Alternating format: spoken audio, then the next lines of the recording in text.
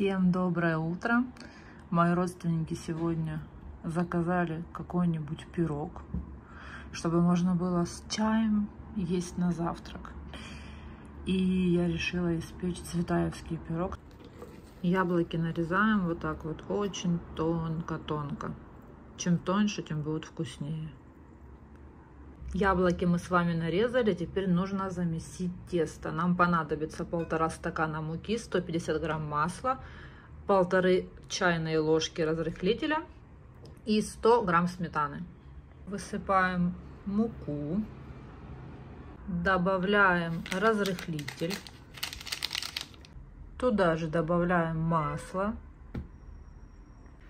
Это тот случай, когда хотела эффектно добавить масло. Теперь вытираем стол от муки и сметану. Теперь все это хорошенечко перемешиваем. Лопаткой это сделать не получится, ни вилочкой, ни ложечкой, поэтому советую сразу замешивать руками. Так, у нас должно получиться вот такое вот тесто которое нам теперь нужно распределить равномерно, равномерно по форме. Ну вот, примерно вот так вот, ручками, ручками, ручками. Все распределяем и на бортики тоже. Теперь нам нужно распределить по нашему тесту яблочки. Если вам покажется, что их маловато, можете дорезать еще. У меня сколько? У меня было три яблока. И мне кажется, что это будет достаточно. Немножко старайтесь вот так вот рассоединять яблоки. Видите, чтобы они не слипались. Теперь нам нужно приготовить заливку. Нам понадобится одно яйцо, 2 столовые ложки муки, 200 грамм сахара и 200 грамм сметаны и ванильный сахар. Яйцо, сахар, мука. Раз. И два. Так, теперь добавляем сметану. Кстати, вам сейчас покажу. Вот это вот сметана из Меркадоны. Самая вкусная. Если вы живете в Испании и еще не пробовали, обязательно попробуйте.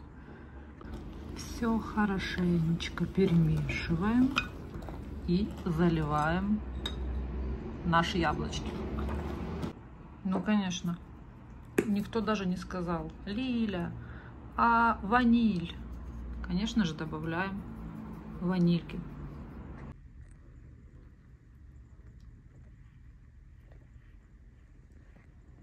Теперь, как я и сказала, заливаем этой заливкой наши яблочки.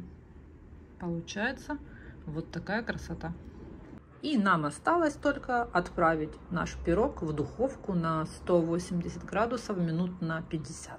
Вот так вот. Так, отправляем и закрываем. Все, 50 минут ждем. А пока наш пирог печется, давайте сбегаем, заберем Марию на обед. Проходим все круги ада в нашем подъезде. Сегодня еще, кстати, более-менее.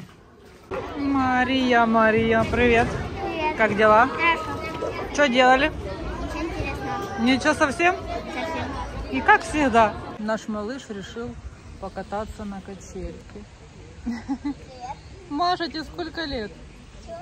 Лет тебе сколько? У нас сейчас на улице такая погода, знаете, когда еще очень-очень тепло, можно даже сказать, что жарко, но уже чувствуется вот этот вот дух осени.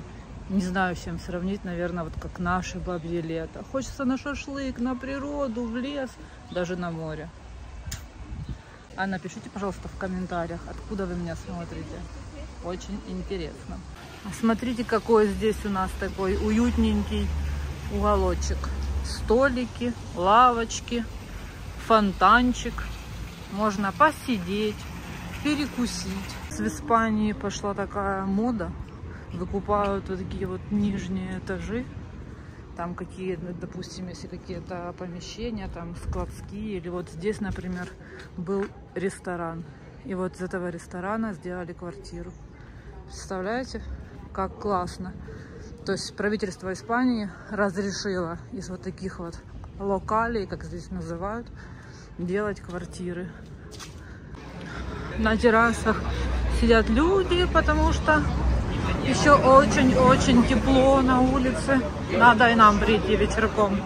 Ну что, тут наш пирог печется. Еще 20 минут. Вот это я быстро за Машей сходила. Вы только посмотрите на эту красоту. Мне кажется, он идеален. Что скажете? Перед тем, как его резать, он должен остыть. Желательно, чтобы он постоял еще в холодильнике немножко. Тогда он получается вкусный-вкусный. Пирог у нас будет на завтрак, а Маша на обед будет вот такая вот супер пицца. Маня, иди садись. Сейчас я вам покажу наборчик, который мне подарили друзья специально для того, чтобы снимать видеорецепты. Смотрите, какая прелесть. Вот такие вот разного размера тарелочки. Смотрите, это какая-то капелька. Видите, какое она тут с этой стороны. Так, чуть побольше. Вот такая еще больше. И самая большая. Четыре таких вот тарелочки. Их можно красивенько расставлять. И будут очень эстетичные блюда, хотела сказать, видео с рецептами. Как вам? Мне очень нравится. Ну, в общем, примерно вот так вот они выглядят. Смотрите, какая красота. Сюда вы можете положить основное блюдо. Сюда салатик, например. Сюда какой-то соус. И сюда еще что-нибудь. Например, хлеб. Здорово смотрится, правда? А мы сейчас сюда положим пирог. Ну что, достаем кусочек пирога и смотрите, как он прекрасно и аппетитненько выглядит, правда? Как считаете? Кладем на нашу подарочную тарелочку и пробуем. Сверху, кстати, можно еще добавить немножко мороженого, будет тоже очень вкусно. Так, берем кусочек. М -м -м. Это так вкусно так нежно. Обязательно попробуйте приготовить.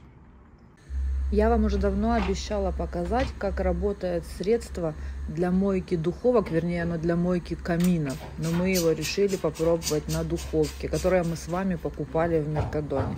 Для начала нужно немножко нагреть духовку, потому что если она теплая, она будет, она будет лучше работать. Набрызгиваем все и ставим буквально минут на 30, оставляем в закрытом виде. И смотрите, открываем и просто протираем все тряпочкой. Оно настолько классно работает. Я, если честно, была в шоке.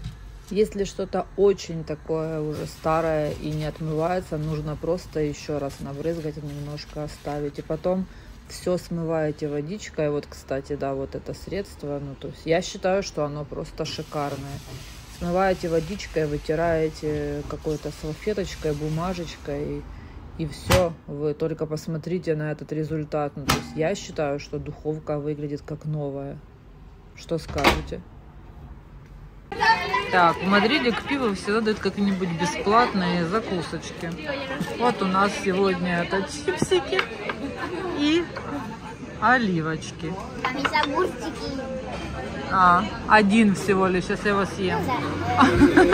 Нет, специально не надо. Не надо? Ну ладно, не буду.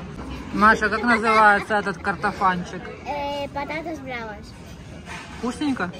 Сейчас будем пробовать. Вот этот вот соус, он, по-моему, вкусный. Не острый, да? Он вкусненький, а не острый. Угу. Сейчас. Это как соус на кебаб, типа. А этот острый. Горячее. М-м. Сейчас оно остынет, и я попробую. А вкусно? Вкусная картошка, да? Ну как? Да. Ничего? Есть можно? Вкусно. Да, кстати, вкусно. Хорошо. А если бы твою еду